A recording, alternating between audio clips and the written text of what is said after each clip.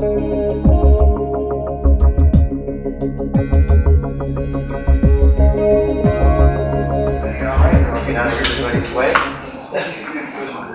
uh, as I've already my name is Richard Weingarten.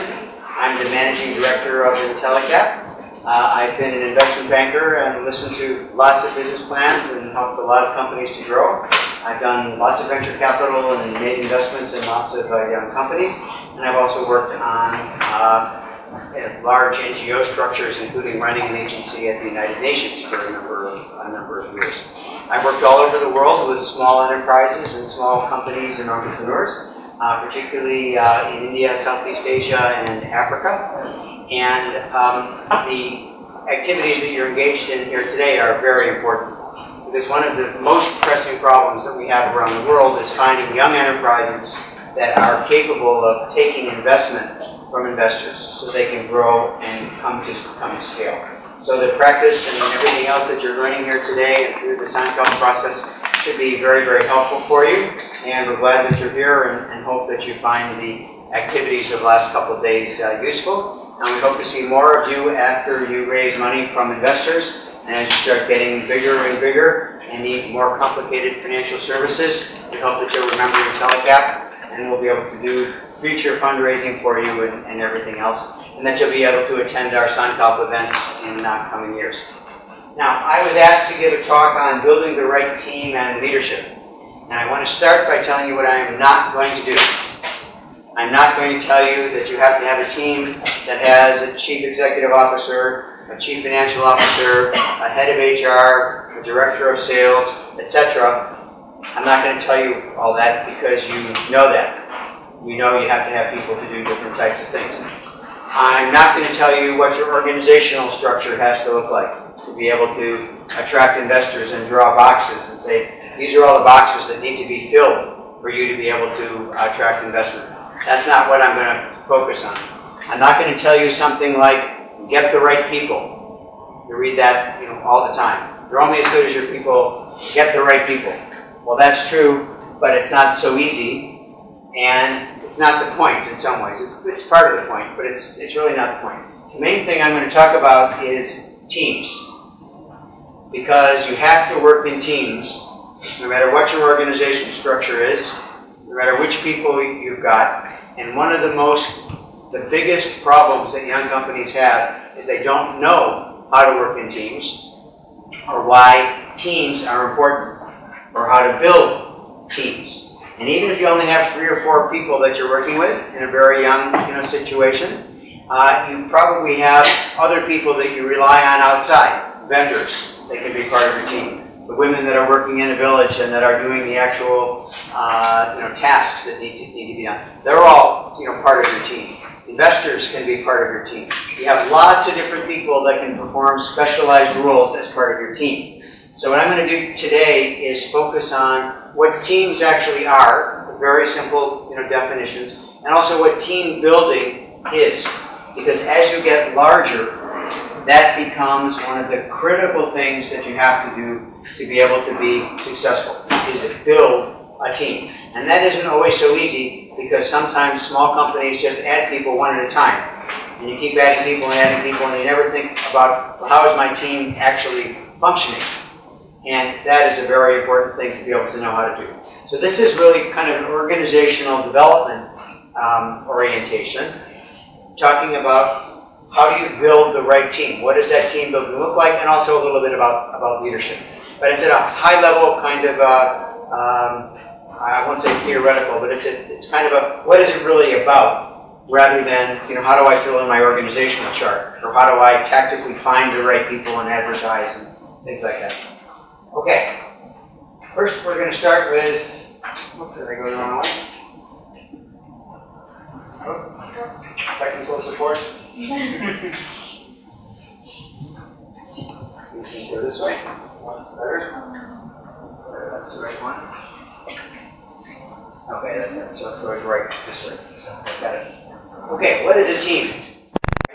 One thinks of, right, but that control of the vehicle and the harnesses is very important to the team because if you don't have the harness, the horses just run all over the place. That harness is frequently leadership. Okay? Second definition a team of persons associated together in work or activity as a group on one side, such as in football or debate, or a crew or a gang. And think about a crew. What is a crew? Crew is a group of people that go out and do some work, like set up a telephone pole, right? Could be a dig an irrigation ditch, a crew. But it's kind of a wild group that's kind of just going out to do something collectively. A gang, on the other hand, another one, is frequently very highly structured with a leader who's managing the gang, right? But it's kind of unruly, you know, as, as well. But we think about this a little bit more, but what you've got is people associated together for work or an activity. So it's oriented around work, accomplishing something. Okay? Now, what kinds of teams can we think of? Well, we can say a doubles team in tennis, that's a team, tennis team. We could say a cricket team, team that plays cricket. We could say a team that gets the job done, uh, we want to get a job done quickly, so let's split up into teams, right? You divide yourself up into teams. Or you could say we worked as a team to accomplish our business plan. Now, if you look at those, those are very different things. A tennis doubles team has two people, only two. That's enough. They have a team. But they have to work together and be complementary all the time. If I think about the history of the India uh, tennis team in the Olympics, that's not a good example of a team. Why? The people aren't working together. They're focused on the wrong issues. They're not working together. Okay? Our cricket team, how many members does that have? Cricket. 11. No surprise, there's so many pauses in this audience, right? 11. It's 11 to 6 uh, extended team. Okay. The physios and the coach. Okay, very good. Point is, very much more complicated. To go from two people to 11 people is much more complicated. And then if you add six people and a coach, it gets more complicated. But also a team, it has to function uh, together.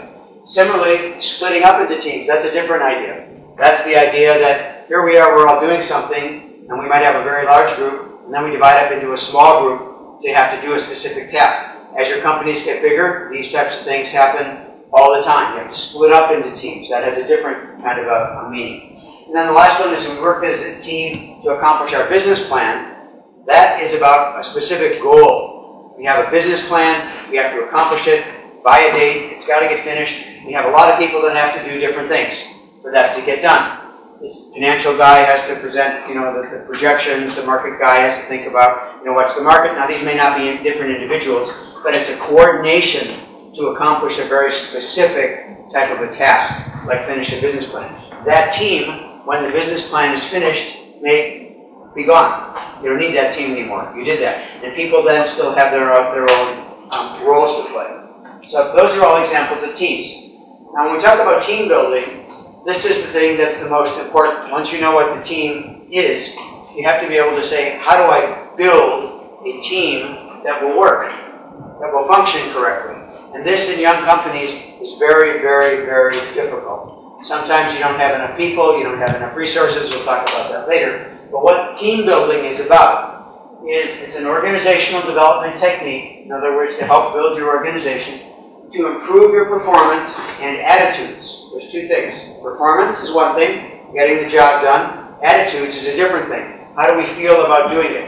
What kind of uh, attitudes do we have about our work, about each other, about our values? And a team has to have both a performance orientation as well as an attitude orientation. And we do this by clarifying goals and our expectations about each other. So those are two different things again. You have to think for the team, where are we going?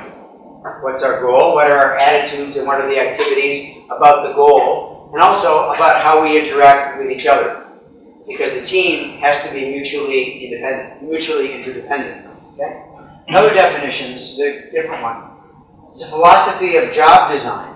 This is about how do you create roles and responsibilities within your team, right? In which employees are viewed as members of interdependent teams. So this is now as your organization gets a little bit more complicated. You know, what does a marketing person do? Why is marketing different from sales? What does the chief financial officer do? What do you do when you're the chief technology officer? What does research you know, department do? So you have interdependent teams becomes the focus instead of individuals. And that distinction is critical to how teams are built. And frequently in young organizations, that's the opposite of what they do.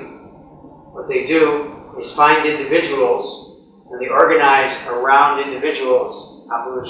Listening, right? They organize around individuals, but they don't think about how those individuals fit into the larger team. And that's a very significant mistake or limitation. The other part of team building, which is important, is the ability to identify and motivate your individual employees so the team stays together, works together, and achieves together. In young enterprises, one of the most uh, significant problems or limitations is turnover. People leave. And if the team doesn't stay together, you can't be successful over the long term. You have to learn together, communicate together, work together, and achieve things together. Why? Your business plans, if I look just at the couple that I saw, well, they run out five years. Investors want three or five years of financial projections. They want to know, you know, what's the business going to be like, you know, how many crores in the future. And if you don't have a team that stays together, you can't get there. It's easy to create the spreadsheet that shows where you're going to be. It's easy to make all the assumptions. This is what's going to happen. The hard part is having a team that's going to execute that and stays together through the execution of the plan. Now, why do you do team building? Okay? And this is, the reason I'm focused on this is, again, too frequently young enterprises don't do team building. Why don't they do any team building? Too busy. Everybody's running around, you're trying to do 10 jobs you know, at the same time. Say, oh, we don't have time for team building. But if you don't have team building, you don't actually end up with a very good team too frequently. So what is team building about? Why do you do it? First, to get to know each other. Every time you bring in new people, it's important that they get to know each other. Boosting morale and motivation. Again, in young uh, companies, one of the problems is people lose morale if they don't have success, you know, quickly. Team building is about boosting morale and motivation. Why are we doing what we're doing? Improving your communication and relationships. Are we all really operating with the same business plan? Are we all really trying to get to the same objectives? Do we all really have the same values? That type of communication and building relationships with each other is critical because if somebody doesn't share your values, they don't understand how they relate to each other, you're not communicating your mission, the team is not going to work very effectively. You also have to identify and utilize the strengths and weaknesses of the team members. That's very important. Not everybody can do everything. Even in, in young companies, that's what you think you can do. You don't have people, you give people tasks to do, you think everybody can do everything. Sometimes you, that's the only choice that you have. But usually, once you have a small group, even if it's five people, that's really not the case. People have strengths and weaknesses. Some things they're good at, some things they're not good at. Team building is about utilizing people for the best thing that they're good at, using their strengths, avoiding their weaknesses, and bringing the whole organization up. Next one getting everybody onto the same page.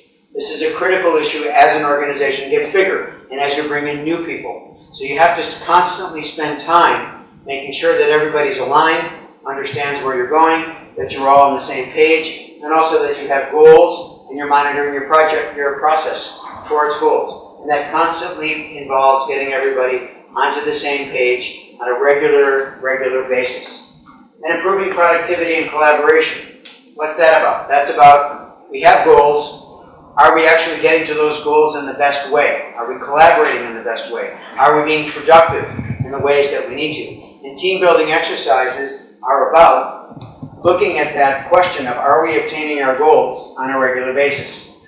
And then the last one is about identifying and developing leadership skills. Because in team building, you get the opportunity to see who can lead and who can't. Not everybody is a leader some people who are good leaders can't do other things. But leadership is very important. So team building is about over a period of time finding out who the leaders are you know, in your organization and developing their leadership skills. Summary, team building 101, right? Takeaway from this. Team's a group that works towards a common goal. We've got to do that. Team building is the process of enabling the group of people to reach the goal. That's what it's about, reaching goals. That's the main thing. Stages involved are clarifying the goals. What are the goals? Frequently in younger organizations, people say things like, I'm so busy I don't have time to plan. People tell me that all the time. I am so busy, I have so many things, I don't have time to plan. Anybody who does that, failure. Any CEO who tells me that, I know they're going to fail. Why? Not thinking ahead. You're being subject to events. You're reacting, not proacting. Team building and uh, chief, and clarifying team goals is about thinking about things in the future, constantly knowing where where the goals are. Next is also important, identifying the issues and obstacles that are barriers that inhibit you from reaching your goals. This is very important as well. I often ask people, what are your main challenges and constraints? Right? What are the things that are, are your problems? Right? What are your main constraints? My least favorite kind of entrepreneur, bar none. I hear it all the time. None. Everything's great. My business is so good. I can do everything. I'm nothing, no constraints for me. Anybody who says that doesn't know what they're talking about. Hear it all the time. All the time. Everything is great. You need to know what are the obstacles. Those are the things to focus on. What are the barriers? Things that make it so you won't succeed. Those are the things to focus on. The good things you've got to know, but it's the barriers and the issue and the challenges that bring you down, that make you that make mistakes. Then team building is about addressing those issues together. How are we going to address those? How do we remove the barriers? How do we get our goals achieved? Right? That's what team building is about on the positive side. So in Team Building 101, if you set yourself in your organization, um, maybe I'm not doing team building if I wanted to, how would I do it? These are the types of things that you need to focus on. Okay, next. What are the obstacles? Right? I, I said team building is about understanding the obstacles. Usually these are what the obstacles are, more or less. Lack of money or funding, you all know that one. Skills, knowledge, and experience, that one you understand, you know, as well. You don't have the knowledge that you need to do what needs to be done. You don't have the experience, you're new doing something, you don't know exactly how to do it. Uh, you may not have anybody on your team that knows you know, how to do it. That's a significant obstacle. That's what events like this you know, are for about gaining expertise, gaining knowledge to be able to handle situations like this. Poor communications is also a critical obstacle. We don't really know what we're doing. We're not communicating what we're doing well, right? We're not communicating what we're doing to the right people. So communication is a very significant obstacle. And frequently, the exercise that I saw about making a presentation to an investor is a question about communication. See, so that issue of how do you communicate to an investor is different than how do you communicate to a supplier, which is different than how do you communicate to somebody who's working for you as an employee. And all of those aspects of communication are part of your team building that can be a very significant obstacle to your team if you're not able to do it right. Unwillingness to share knowledge or collaborate. This usually in small teams isn't the isn't the main issue. You know, but anytime you get more than five people, you know, particularly when you get to 12 people, something like that, then being able to uh, share your knowledge becomes very important. You have to make effort to share knowledge. And when people don't share knowledge, then people start to make mistakes because they don't know what each, what each other is doing. Okay? Next one is poorly defined or misunderstood roles and responsibilities. Uh, that one is very important because as your teams get bigger, they become more specialized. As they become more specialized, then what has to happen is you have to be sure that everybody knows what everybody else is doing. And writing things down and having good you know, job descriptions is critical. In small organizations, usually you don't have to worry about that too much, but often that becomes a very significant issue because you sometimes have two or three people doing maybe the same thing, and it's not differentiated enough. So you really have to be sure that you differentiate as appropriate, that you have specialization, you know, where you need it. As you add more people, every time you add a new person, what is that new person's role and responsibilities? And if you don't do that, what you find frequently is a mismatch. The person that you hired isn't the person you thought you wanted, and might not be the person you need because you didn't write down the roles and responsibilities for those people. Lack of direction is also critical. Uh, frequently, uh, an obstacle is just people don't have time to communicate, so they don't give each other good direction. You know, where are we going? CEO is too busy and is traveling all around, you know, the country trying to do sales, bring customers in the door, and then the five or six other people that are supposed to be doing something else don't have any direction while the CEO is gone or something. That type of lack of direction creates people being fragmented often. People are off kind of doing their own thing, and the result of that is ineffective teamwork, and the organization suffers. Absence of trust is a, another one. And that's one that can happen in small or large organizations, but if people don't trust each other in a team, the team doesn't work very well. And I again go back to my tennis example, you know, in uh, you know the recent things in the Olympics. When people are talking the way the various people that were talking about how they feel about each other, it's going to be very hard to have a doubles team that's very effective because there's too much other stuff going on when people don't trust each other. Now, what's the framework for teams? What, what do teams need to have to be successful? Because every team needs to have a framework in which it's working. And this type of uh, discussion, these types of points, are critical for you to have your teams work. Doesn't need a lot of time to do things like this, but maybe it needs a one-day offsite. Maybe you need to do that, you know, once a quarter, once every half year, depending on your organization. You at least need to do it kind of once a year to say what is the framework within which we're working this year looking forward. First thing is a vision, near and longer term. Where are we going now? Where are we going to go kind of, you know, in three months or six months? What's that vision? You have to have that to have the team be effective. effective. Mission. It defines what the organization and the team is doing. That's also critical. You have to be able to say, this is who we are, this is where we're going, this is what we're doing. All right? Values teams have to understand the values of the company. What kind of people, you know, are we? What, what do we hold that's important? Is being green, you know, very important to us? Is the wages that we pay the people that work for us, you know, very important? Is uh, non-polluting, you know, uh, you know, very important? Uh, all the other issues of values that are, are very important. And the reason that values are fundamental is if you don't know what your values are, it becomes hard to make good decisions. Because you don't know really what you stand for. And one of the problems in the modern society is that many organizations don't have any values, or the values they have are not articulated. Right? So uh, just making money becomes a value. You know, that's all we want to do is make money. That becomes a value. Okay? Next, we have to have a strategy that zeroes in on the key success approaches. In other words, how are we going to accomplish our goals? What's the strategy? That's again the type of an issue that people frequently miss because they're too busy. I don't have time to think about strategy. I'm too busy. I don't have time to plan because I'm too busy. I don't have time to have spend focus on teamwork because we have too many things going on. The world looks like that, but what you find is if you make the time to do these things, then you become more efficient, you become more focused on what you're doing, and your teams become more effective. You have a much better chance of accomplishing the results. And last, you have to have goals and action plans that guide daily, weekly, and monthly you know, activities. Um, again, for small organizations, you may not need daily, uh, but you know, the more uh, specific your goals and your action plans are, and the more time-bound, the more successful you're, you're, you're going to be. I once uh, saw a good example of this in which a very, very good CEO said that one of the ways he manages his time is he thinks about all the things that he has to do, makes a list. Then he says, how many of those are long-term, and what are the medium-term ones, what are the ones that I have to do, you know, tomorrow, right? What are the ones that absolutely have to be done? What are the ones that are um, uh, uh, kind of discretionary?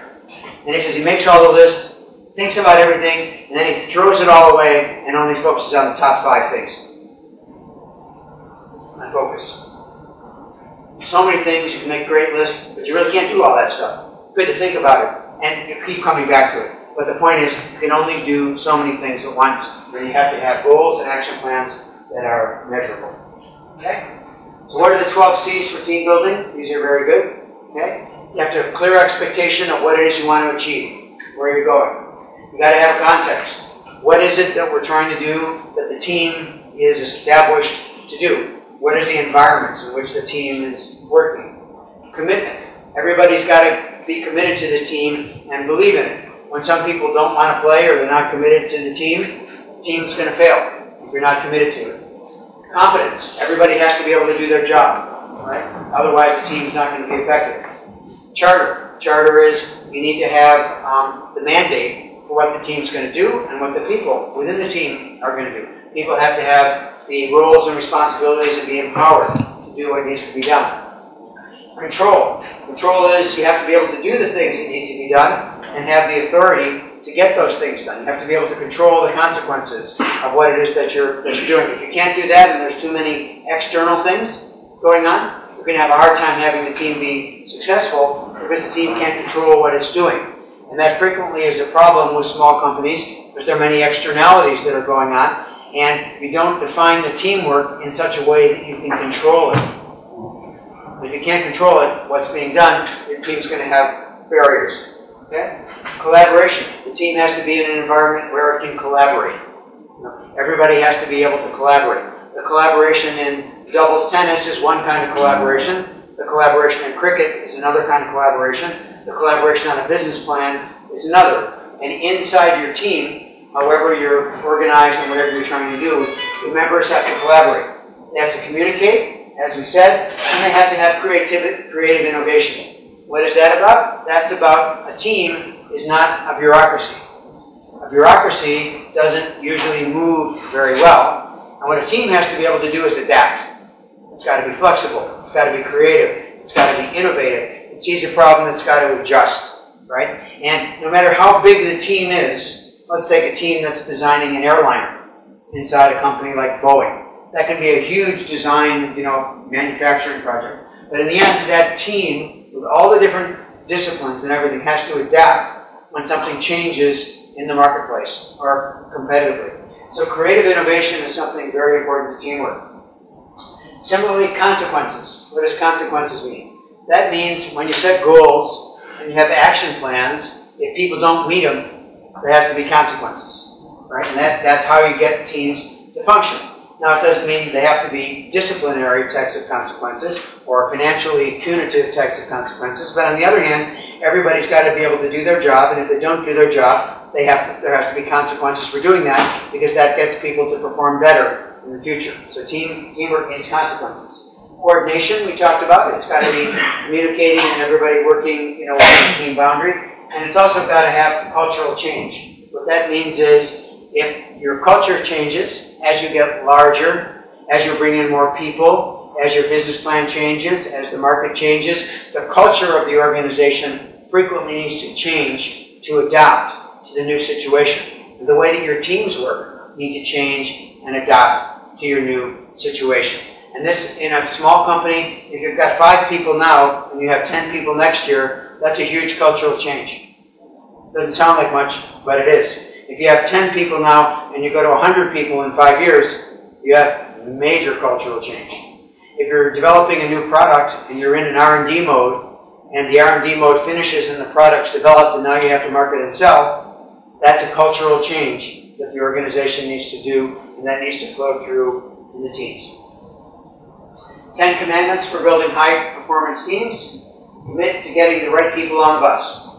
That's the, the first thing I talked about. I wasn't going to talk about that too much. But that's important. You've got to have the right people, you know, in the company, you know, on the bus to be able to have your team work. You've got to have the right people. You've got to get everyone on the same page. Everybody's got to be working together. That's frequently a problem in small companies because people are off doing kind of their own things. You've got to have a learning environment where people learn from the mistakes that they make or from new information that comes in from new colleagues in order for the team to uh, be a high performance team. We've got to share profits and losses. Sometimes people do well, sometimes they don't do well, sometimes the company makes money, sometimes it doesn't. But for a high performance team to work, you've got to have consistency across the good times and the bad times. You've got to be able to share in profits and losses. Got to commit to turning around performance. Something doesn't work, the team's got to be prepared to say, we're going to change our strategy, we're going to do something different than we've done before. High performance teams are very good at that. What worked? What didn't work? Didn't work? What do we need to do to make it better? Spending time in teams evaluating that is critical to high performance teams. Commit to dancing with those who brought you. That's a very important one. What that means is you, you agreed to join a company, you agreed to have you know colleagues, you have people you're working closely with, if your team is going to be effective and a high performance team, you can't be looking to do something else. Right? You can't be saying, oh, I don't like the people that I'm working with. I wish I had other people. Right? And this is uh, based on the idea of if you go to a dance, you know, somebody, a male or a female, while you're at the dance, you should stay with the person who you went with and don't be looking around for other people. That's a recipe for disaster. Okay? So answer with those who brought you. Commit to playing to win. Now, this is very important, particularly in social sector. Even if you're in the social sector, you've still got to play to win. What does that mean? That means that accomplishing your objectives and your goals is important. If you don't care, you're not going to do a good job. If you're serving people at the bottom of the pyramid and you don't care, you're not going to do a good job. What that means is you have to define what it is that you want to accomplish and get there, no matter what it takes to get there. That's winning. Doesn't necessarily mean beating other people, right? Which is what happens in some, some environments. But what it does mean is you have to take pride in what you're doing. You have to want to accomplish what you're doing, and it has to be really serious to you to get to what you're doing, because that's winning in this kind of a context with a team. If team members don't care, they're not going to be very effective. Okay? You've got to grow through adversity. You've got to commit yourself to do that. All small organizations, all enterprises very tough situations, whether it's Steve Jobs, you know, whether it's, uh, you know, Mark Zuckerberg, you know, now at, at Facebook, all entrepreneurs, all enterprises have adversity, you've got to commit to going through it. If you just give up when things are tough, you talk to 10 venture capitalists and nobody will fund the deal, you say, where's number 11? I'm ready to go. You know, you've got to have patience, you've got to work through difficult situations. You've also got to have fun. You've got to commit to having fun. If you're not having fun, the end of the day, you won't last very long. That doesn't necessarily mean fun that's frivolous, but you've got to enjoy your work, you've got to enjoy your colleagues, you've got to be committed to what you're doing. If you don't have fun, your team won't last very long. Right? It's got to be enjoyable that's in, in some ways. And then you've got to commit to playing large. That's very important. What does that mean? That means you have to have a big vision of where you want to go right? If you're just kind of muddling along and doing the same thing at the same level year after year, it's hard to build good, solid teams around that. It can be done, but if you have a larger vision of where it is that you want to go and you're committed to getting there, that makes the team better because you're striving. You know, you're aspiring. You have goals that you want to, you know, accomplish, and that's significant. Covered all these points, is just a, a little summary. I'm not going to go through it again, but I am going to just say a couple things down here. Okay? Effective team building is among the most important challenges for any business or organization. And it's something that isn't obvious necessarily. Why? Because as I've said numerous times, people are too busy. They don't see team building as an activity. But that's why I wanted to focus on it today. Because it really is perhaps the most important thing you can do. Because if you've got a good team and you've got a good plan, you've got goals, you know where you're going, you've got everybody collaborating, you're likely to be successful. Whereas if you don't function on this, like this, you're not likely to be able to scale very, very much. And I'll say that this time here. Without effective teams and teamwork, businesses and organizations cannot grow to scale.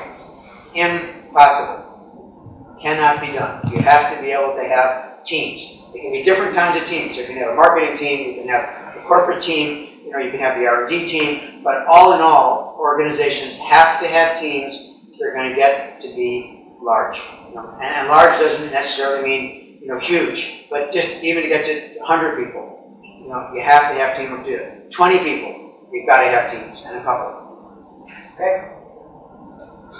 Now, last subject I was asked to talk about was leadership. Who is a leader? And I thought I would just do this one relatively quickly, but it's very important, particularly in small companies, because frequently in small companies, the company is built around an idea or something that they want to do. Right?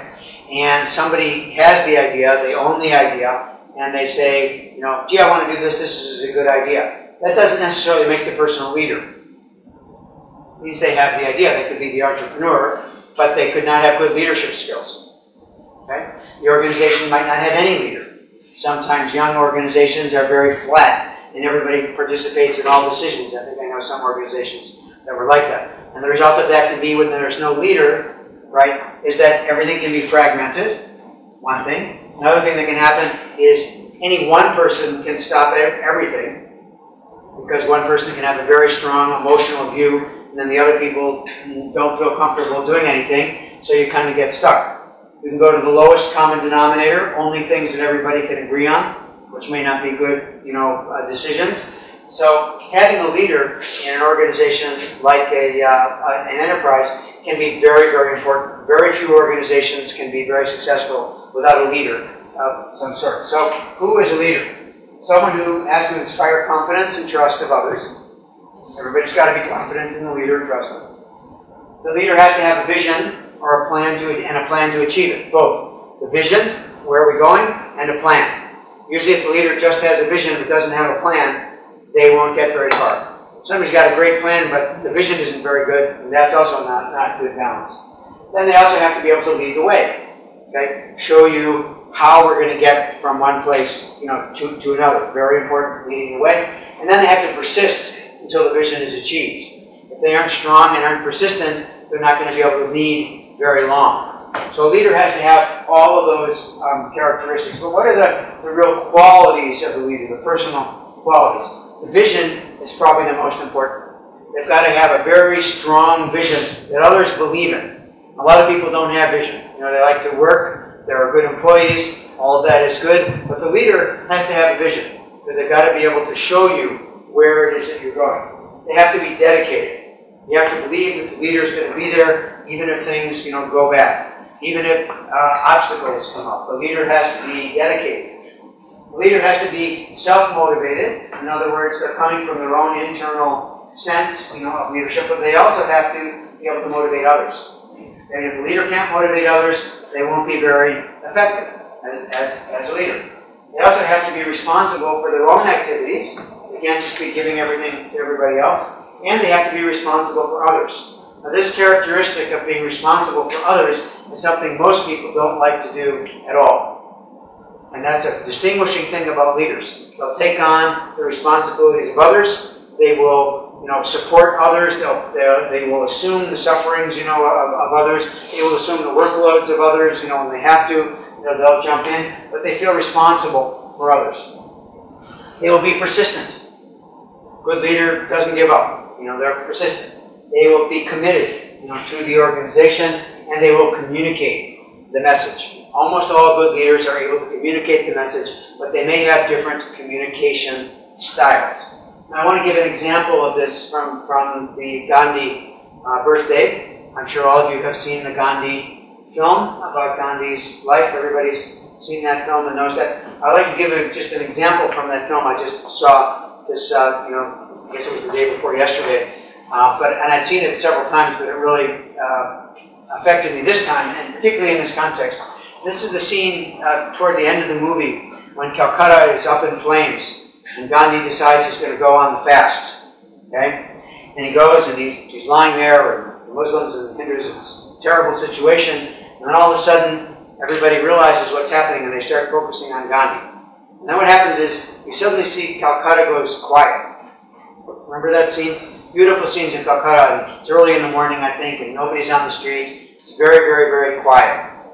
And then what happens is a group of Hindus comes to Gandhi, and he's lying there, you know, in, in fast near death. And there's a Muslim gentleman kind of standing off to the side, and the Muslim leaders come. I mean, the the uh, Hindu leaders come and say, "Time for you to stop, Bapu. Got to stop this fast." I'm paraphrasing, of course. So you got to stop this fast. We've told everybody no more fighting. You've got what you want. Now eat. We're going to go home. It's over. Right? And Gandhi's very weak and he kind of looks at them, you know, and he's, he's near death. And uh, he doesn't kind of say anything at that point. And the Hindu leaders are very agitated, right? Then they turn and they say, please, this is enough, and they turn to walk away. And after they walk away, one of them turns back to Gandhi, and he takes out a chapati, and he puts it on Gandhi's lap, and he says, eat, right? And then he says, I'm going to hell. This is the reason I'm going to hell is because I killed a child.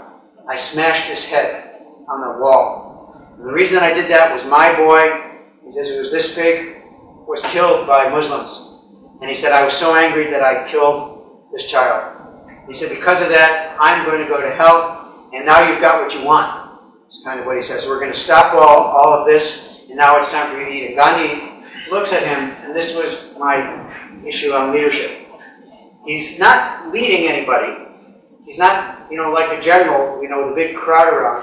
But what he says to the gentleman is, I know a way out of hell. Now that statement was leadership. Why? Yeah.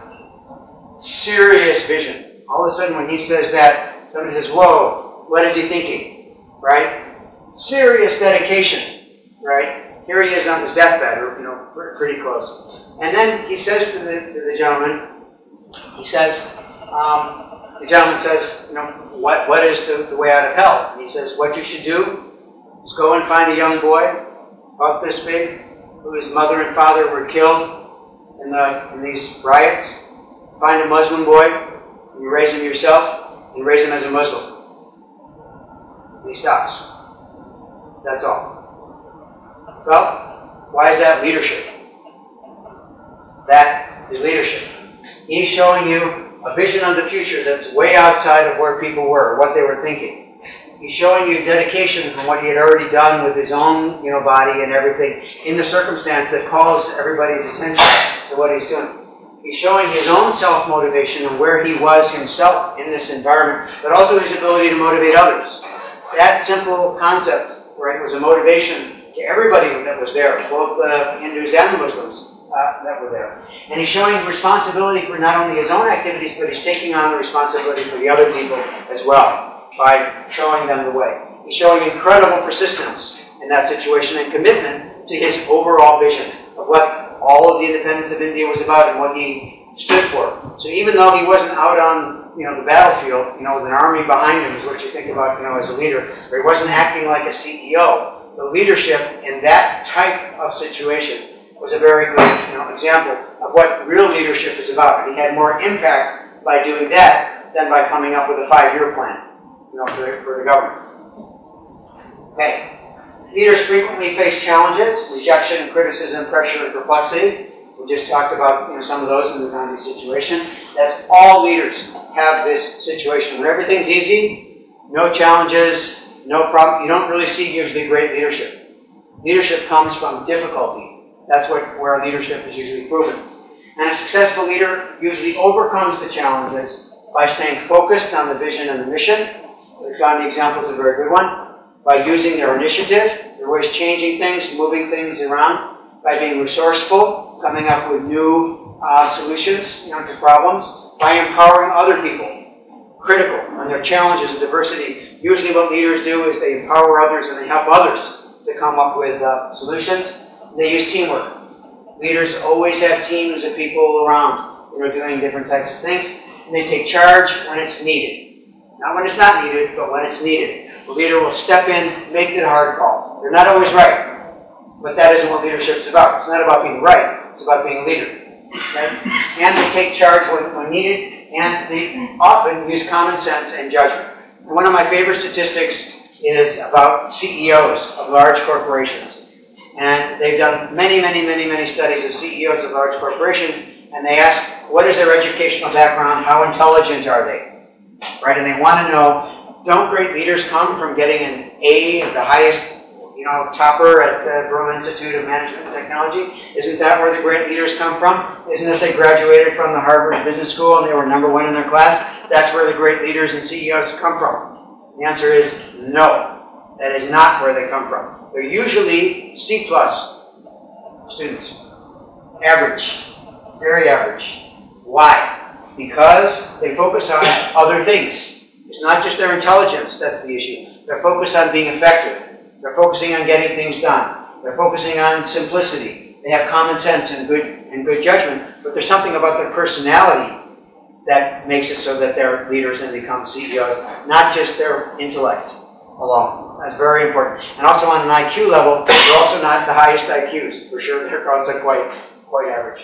So those are the traits of a successful leader. It's a nice quote from uh, former President of the United States. It's a nice quote. But the best leader is one who has sense enough to pick good people to do what he or she wants done, and self-restraint to keep from meddling with them while they do it.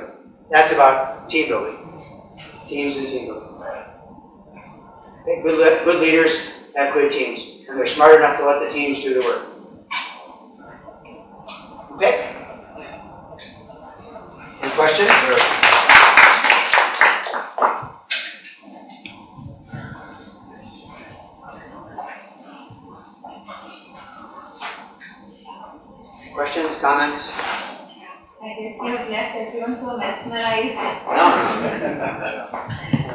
this is a very tough thing with, with companies, but it's absolutely critical.